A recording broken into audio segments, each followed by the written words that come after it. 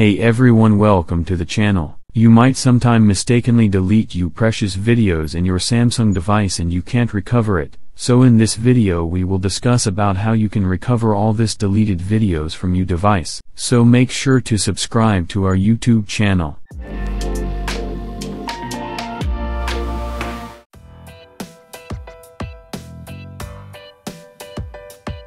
In this first method you have to open your gallery slash photos application in your Samsung device and here at bottom you'll find an option of recycle bin where you'll find all your deleted videos and photos. Select the file you want to recover and then hit recover option and your file will be recovered.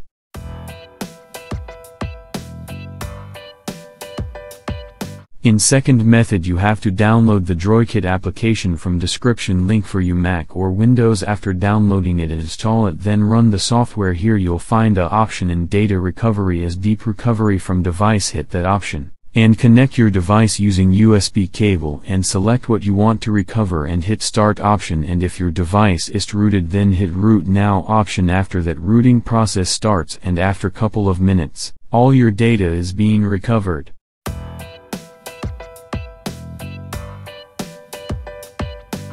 So that's all for the video I hope you liked the video and make sure to subscribe to our YouTube channel.